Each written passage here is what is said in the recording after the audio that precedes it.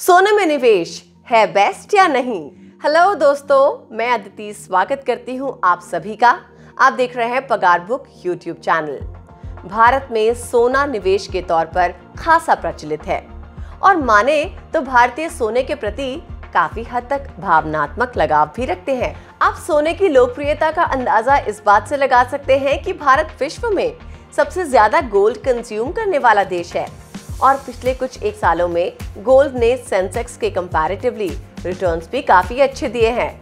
तो फिर नुकसान किस बात का? दोस्तों, जिस तरीके से नकदी या बैंक की एफडी या दूसरे एसेट्स को आप निवेश के लिए चुनते हैं गोल्ड भी निवेश के लिए एक अच्छा ऑप्शन माना जाता है। एक्सपर्ट्स की राय में ये बहुत बढ़िया ऑप्शन है। लेकिन ज़रूरी ये है कि आप इसको किस तरीके से करें ताकि कम से कम रिस्क और ज़्यादा से ज़्यादा रिटर्न्स पाए। गोल्ड इन्वेस्टमेंट की बारीकियों को समझने से पहले ये समझना ज़रूरी है कि सोना किस तरह का निवेश है। जी हाँ गोल्ड एक कमोडिटी है।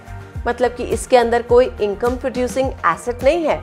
जैसे कि आप अगर उदाहरण के तौर पर प्रॉपर्टी में निवेश करते हैं तो ये एसेट आपको रेंट के तौर पर रेगुलर इनकम प्रदान करता है। तो फिर क्या वजह है कि सोने की वैल्यू ऊपर जाती है? और इसको निवेश के तौर पर लोकप्रियता हासिल है।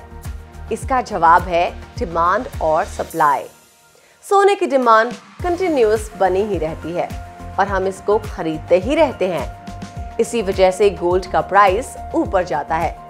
लेकिन यही अगर आप गोल्ड ज्वेलरी को निवेश के तौर पर चुनते हैं तो यहाँ आपका नुकसान है। Gold jewellery consumption use case के अंदर आ जाता है, ना कि इन्वेस्टमेंट के। इस चीज़ को आप ऐसे समझे। सोने के गहने खरीदते वक्त आपको मेकिंग चार्जेस देने होते हैं, जो बाद में बेचते वक्त घट जाते हैं। इसके साथ स्टोरेज की प्रॉब्लम होती है और इम्प्योरिटीज की भी। जब आप ज्वेलरी खरीदते हैं तो ये 22 कैरेट से ज़्यादा में नहीं बनती, बाकी इसमें इम्प्योरिटीज मिलाई जाती हैं। इस वजह से ये एक गलत तरीका है सोने में निवेश करने का। आप फ़िज़िकल गोल्ड खरीदे, लेकिन बुलियंस और कॉइन्स के तौर पर, जो 24 कैरेट में बने होते हैं। हालाँकि स्टोरेज की समस्या यहाँ भी है। इसी वजह से डिजिटल गोल्ड का ऑप्शन आजकल अवेलेबल है। दूसरे तरीके से आप गोल्ड ईटीएफ e यानी exchange trade fund sovereign gold bond या फिर गोल्ड म्यूचुअल फंड में इन्वेस्ट कर सकते हैं।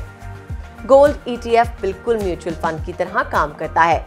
ये पब्लिक से पैसा कलेक्ट करता है और फिर उस पैसे को गोल्ड के अंदर फ़िज़िकल फॉर्म में खुद इन्वेस्ट करता है। फिर इस फंड की एक वैल्यू लग जाती है और आप उस फंड के अंदर इन्वेस्ट करते हैं। ईटीएफ e में इन्वेस्ट करने के लिए आपके पास डीमैट अकाउंट होना ज़रूरी है।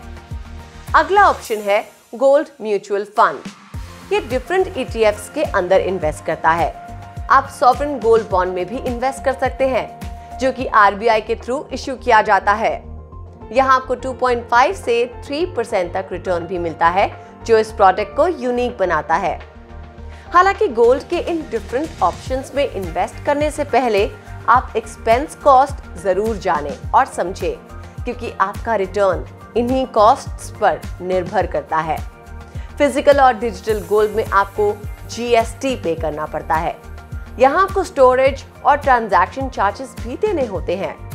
गोल्ड ईटीएफ, एसजीबी और गोल्ड एमएफ में आपको ये एडिशनल कॉस्ट नहीं देना होता। गोल्ड म्यूचुअल फंड में ये दो परसेंट तक बढ़ जाता है। और अगर आप एक साल से पहले अपना पैसा निकालते हैं तो एग्जिट लोड भी देना पड़ता है। तो जैसा हमने आपको पहले ही बताया है कि हर इन्वेस्टमेंट के अपने प्रोज एंड कॉन्स हैं। आप अपना इन्वेस्टमेंट ऑप्शन चूज़ करने से पहले एक बार ये कॉस्ट ज़रूर कैलकुलेट करें। आजकल बहुत सारे ऐप्स हैं जहाँ आपको ये जानकारी मिल सकती है। जैसे कि पेटीएम फ़ोन पे ऑगमेंट यहाँ आप ध्यान रखें कि गोल्ड को आप रिस्क फ्री कैसे खरीदें, ताकि फ्यूचर में जब भी आपको ज़रूरत हो तो आपको ये बगैर नुकसान पहुँचाए काम आए।